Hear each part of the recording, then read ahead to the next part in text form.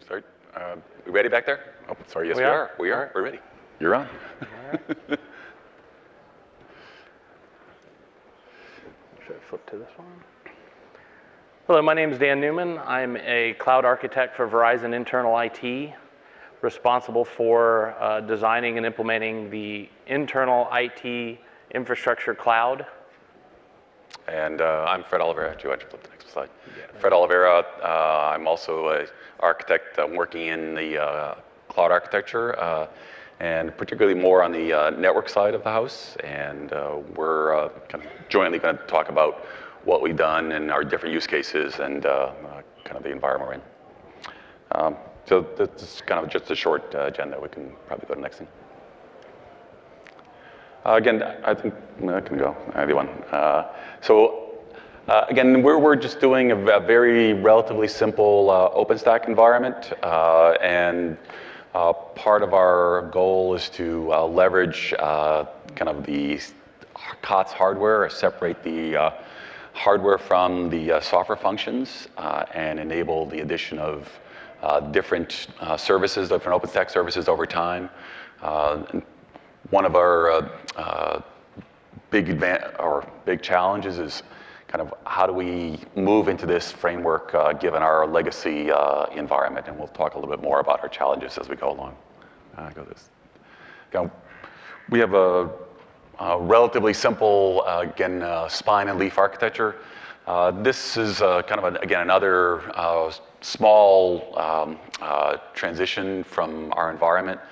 Um, Part of our, uh, again, goal is to uh, deploy uh, SDN controllers to manage the, our, our data center fabrics. And this data center, the SDN controller part is to, uh, we want to extend from just managing the um, uh, internal data center fabric uh, and gradually move out farther and farther into the network so that we can control the, the whole network.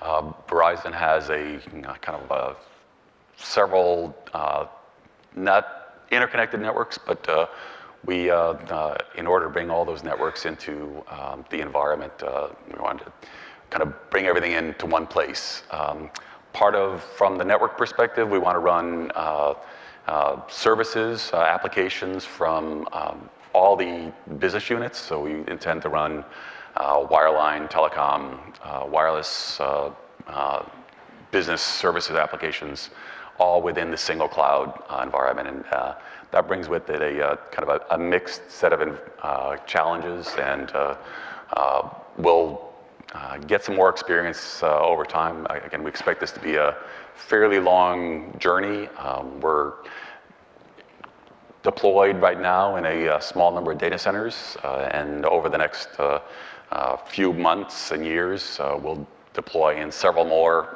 data centers and uh, gradually bring uh, applications into this uh, environment. Okay. From an IT perspective, we've been doing uh, IT automation in siloed compartments for quite a while.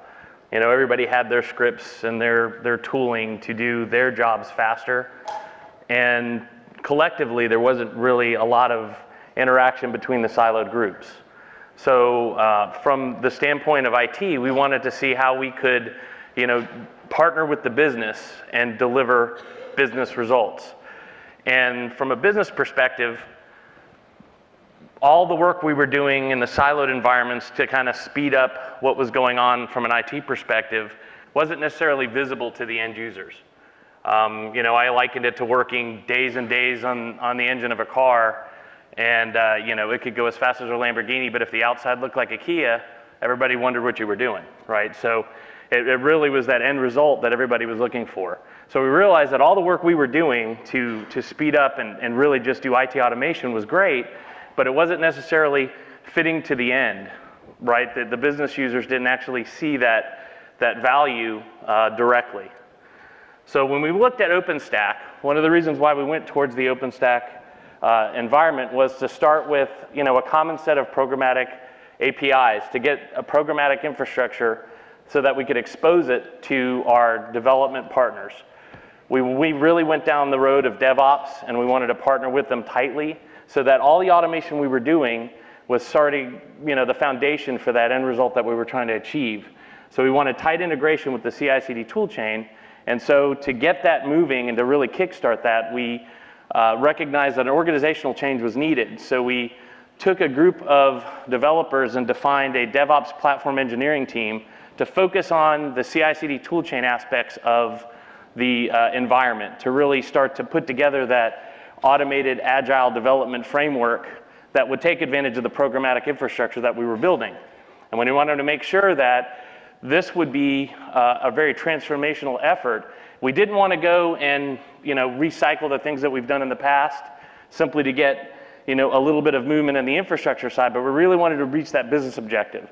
So this next gen platform, we, had some principles that we wanted to kind of drive home with the developers, with the business unit saying, you know, I think you've all heard the cattle versus pets analogy, and we really wanted this platform to be more cattle, where, where it was an automated perspective that we weren't building assets in this environment that were going to be cared for and managed in the traditional legacy model, but that we were really going to push for more of a cloud native methodology. We didn't want any software agents to run in the, in the environment. You know, we, we've been there, done that. Uh, the dynamic capabilities, the dynamic scaling, it would slow things down, you know, having agents to be reset, to connect. Um, you know, it, it was a total change in mindset. You know, from an asset management perspective, something could be there now, it could be gone in a minute, and an agent might not even connect by then. So we, we really wanted to transform everything, not just the infrastructure, but we recognized the holistic environment had to start to change. Um, you know, trying to get away from the concept of going in and making manual changes so that you know, you had to test and manage your code so that when it went into production, you didn't have to log into a box and make manual changes. You know, try to really harden the fact that, you know, the dev test process and that tool chain needs to be where everything happens. So by kind of going into that framework and changing the methodology and the model and, and from an infrastructure perspective is pretty difficult because we'd always been held to harden that, harden that infrastructure, harden the hardware. I mean, make sure that there's nothing going to go wrong in your environment, that a developer can take the assumption that if I run something there, oh, oops, great. It, the infrastructure is not going to go away like this. and that and, and uh, they could rely on the underlying infrastructure to provide high availability uh, to a certain degree. We wanted to really push more for uh, horizontally scaling, 12-factor application methodology, and, and it was very important that they understood that that's what we were trying to accomplish here, and, and not try to shove legacy applications in here and, and not get the results that we were trying to get. So during this process, you know, there were a couple things from an IT perspective that we learned um, that was very uh, transformational from the aspect of the folks who were involved in the project as well as uh, the enterprise in large. Um, infrastructure teams had to learn how to become service providers. They were no longer, you know, in a siloed model where I just support this box. I don't know what it's doing. I don't know how it's being used, but this is what I do, and this is why I do it. Uh, they had to understand that they were providing a service to an end user, our development and business units, and they had to understand how they wanted to be able to use that product you were providing.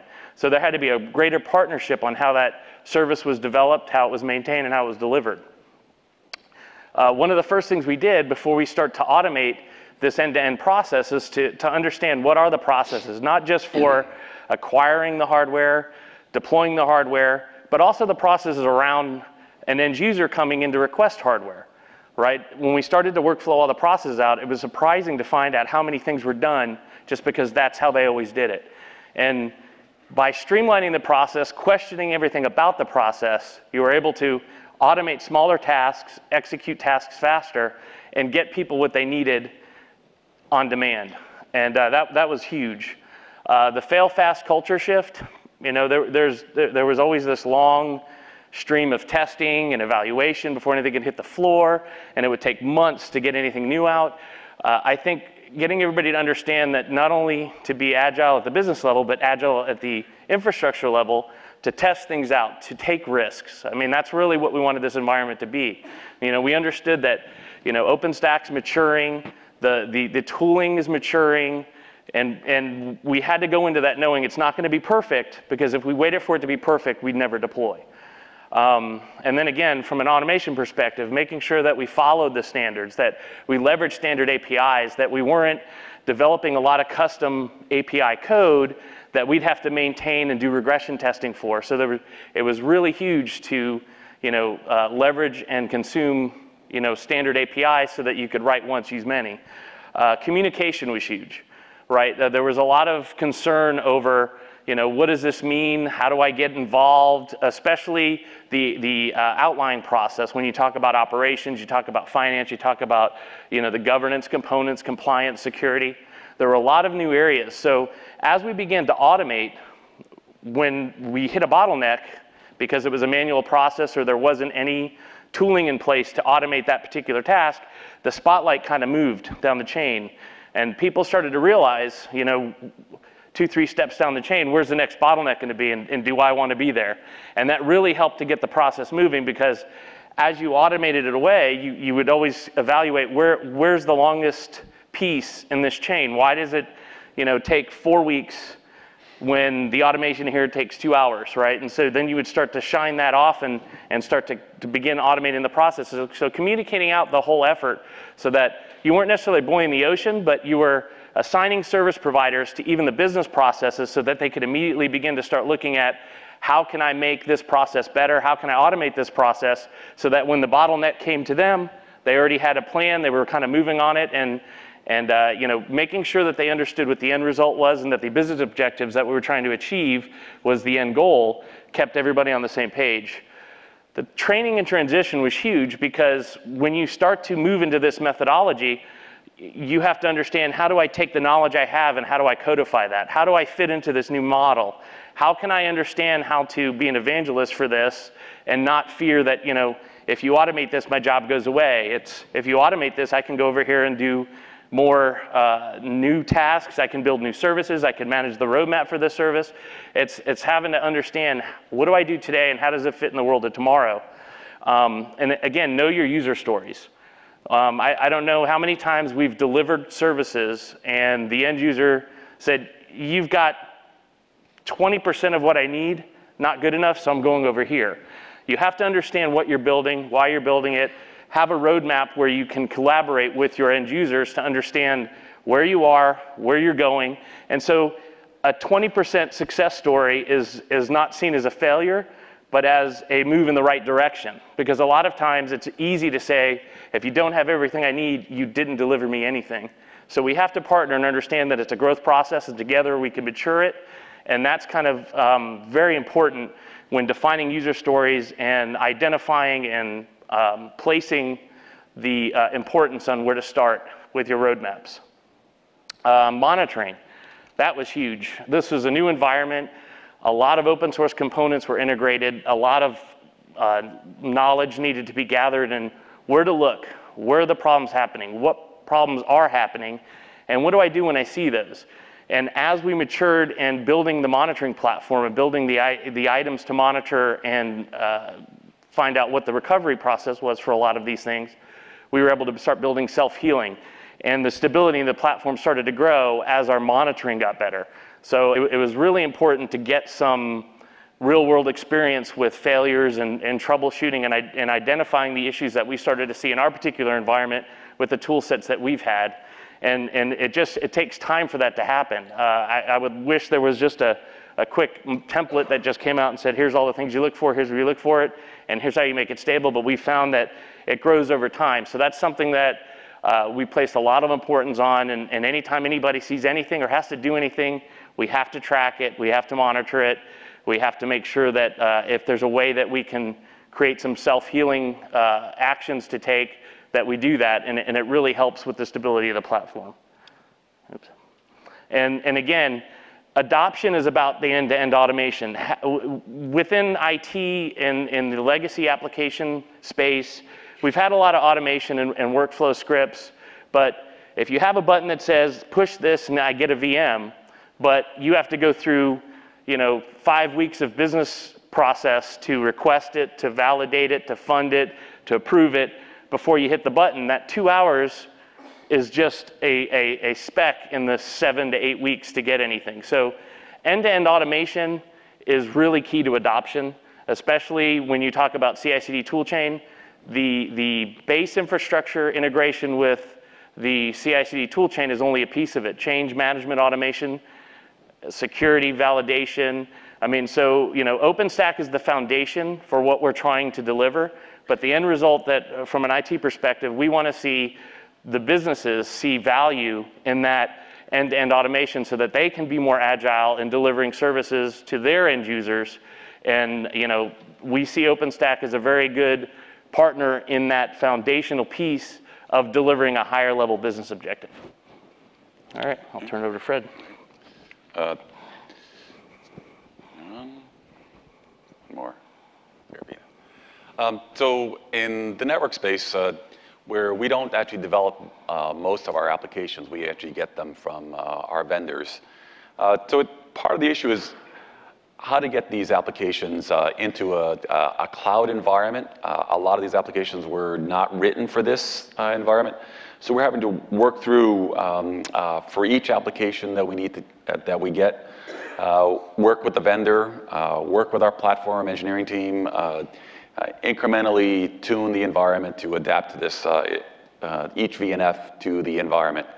And this led us, we actually have to provide uh, a lab environment uh, within various locations uh, of Verizon, and we're working actually with some of our vendors directly, that they are deploying the a mini version of what we're deploying in the field in their lab, so that they can validate this environment.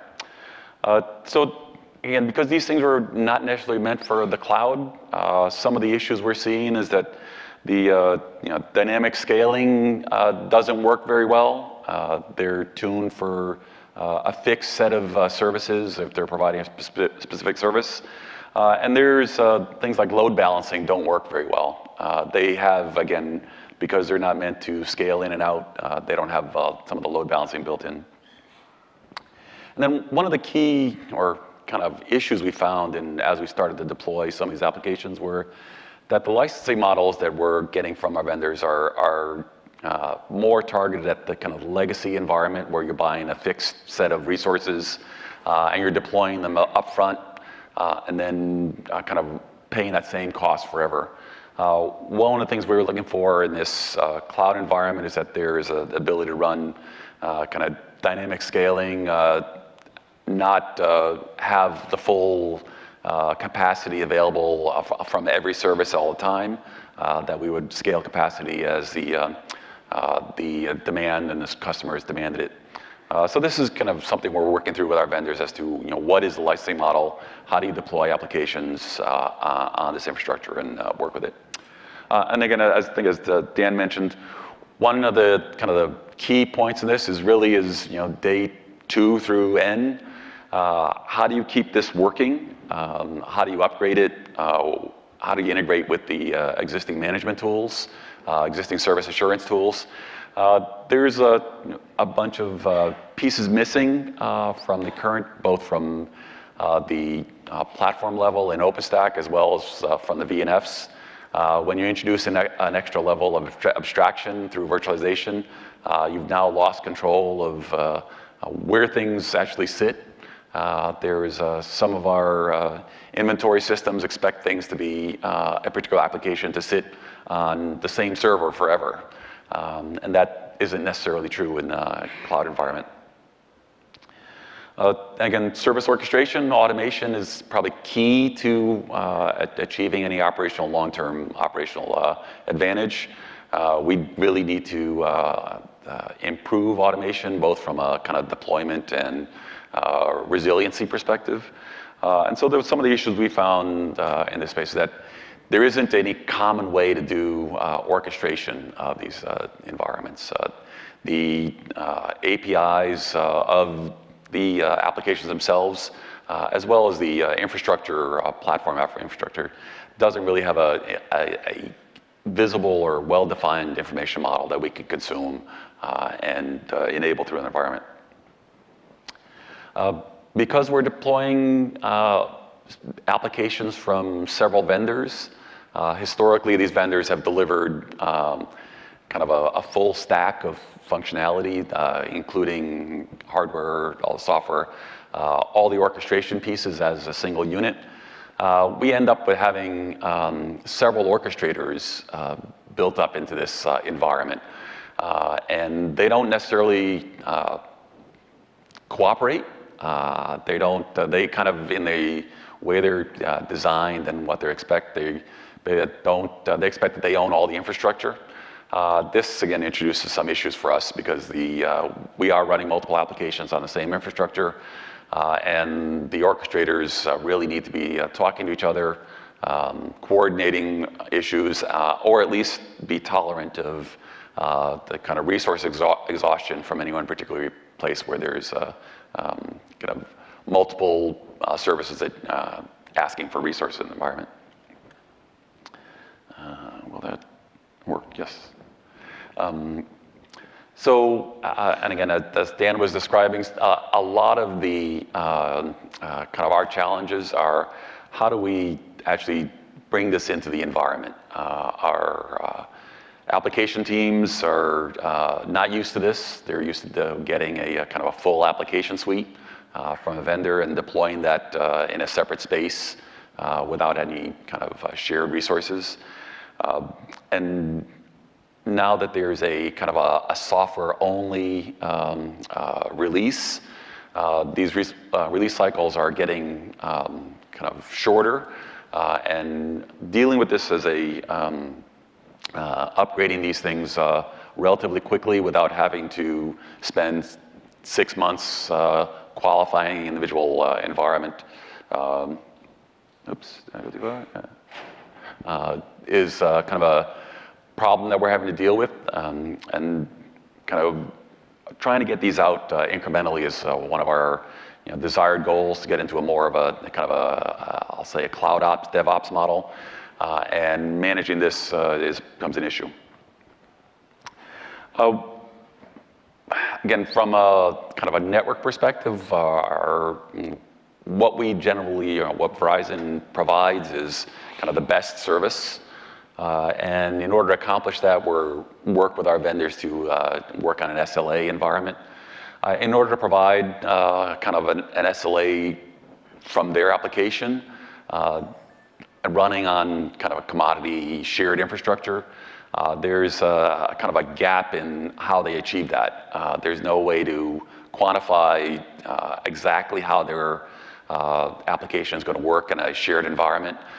there's kind of they need a way themselves to get uh, some assurance uh, that they're going to get the, uh, the capabilities, all the resources that they've asked for, uh, and that they need a way to measure that they, you know, from the platform perspective, the platform hasn't broken the SLA that it promised for that uh, service. And again, from, a, uh, from the platform perspective itself, we're developing this kind of as a from multiple vendors. OpenStack uh, generally doesn't, because we're buying hardware separately from uh, the OpenStack environment from various components in there. The platform team now becomes somewhat of an integrator. Uh, and this is, again, is somewhat of a change for um, the Verizon team. How do you, um, with different release cycles of uh, OpenStack versus the, uh, an SDN controller versus the orchestrator, uh, how do you manage these release cycles? Um, currently, OpenStack doesn't do a very clean uh, upgrade or a non-disruptive upgrade without uh, having some hiccups in the environment. Uh, so that's kind of some of the challenge that we have from, uh, we're asking for OpenStack to improve is the uh, kind of upgradability and dealing with this. but this, this, is kind of our existing challenges. How, how, do we run this from you know, day in? Um, I think we just go on. Uh, just some of the issues that we found in uh, kind of OpenStack environment itself, uh, just from some of the things that we're can, experiencing more is things like the uh, uh, security issues.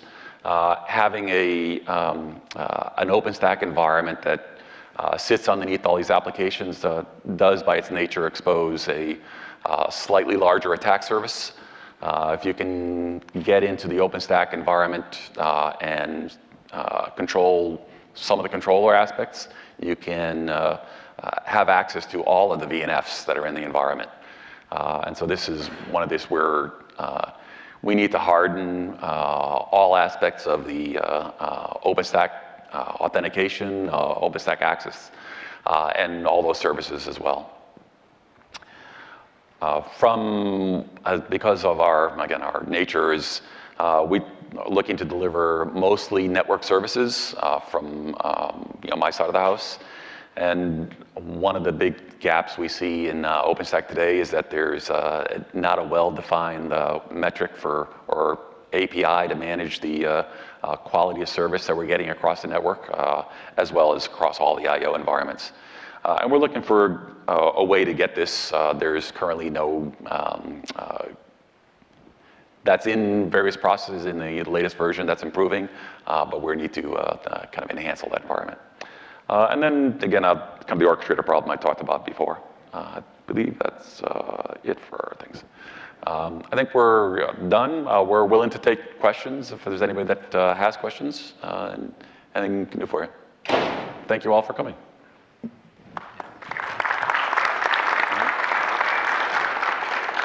I was, I was uh, wondering if you guys could spend a little bit more time talking about uh, the business requirements that you were trying to address.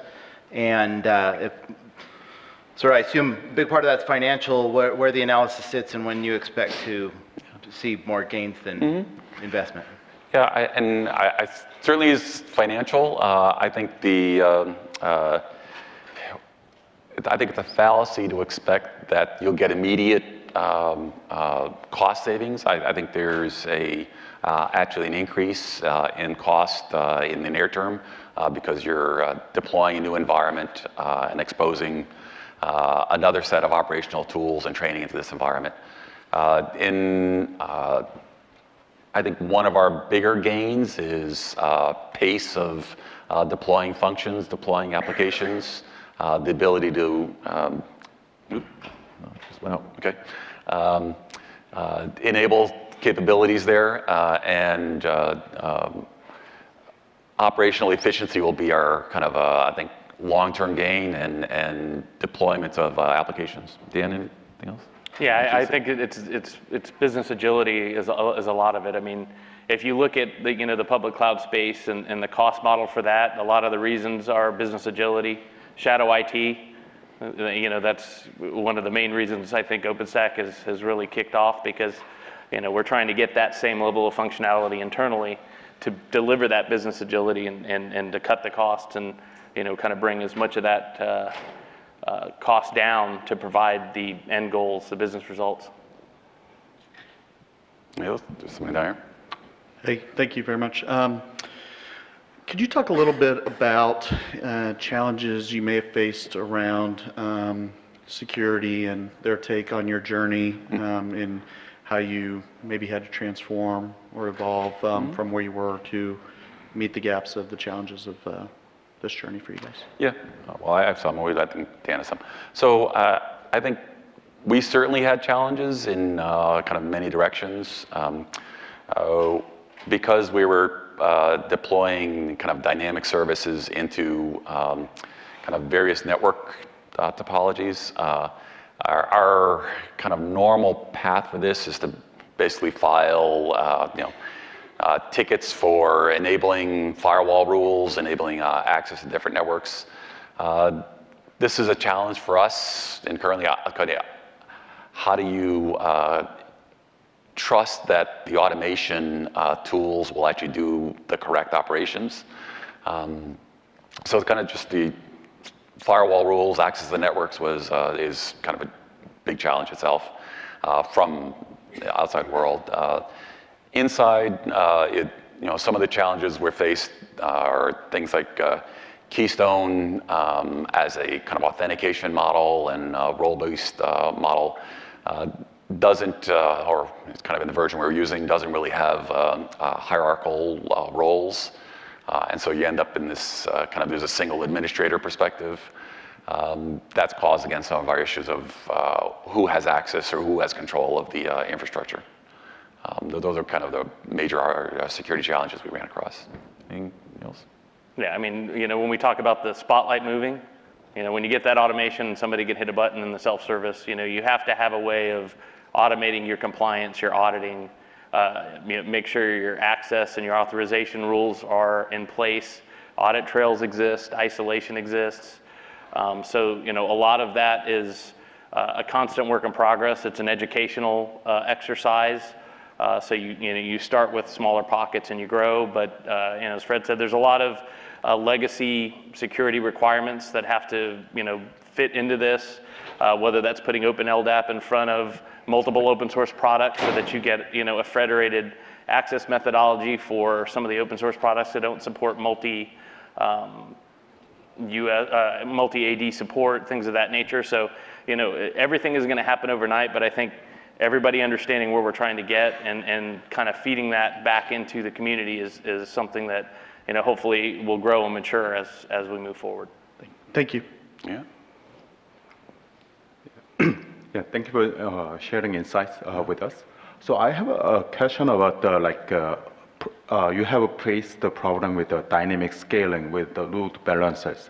So can you explain more about it?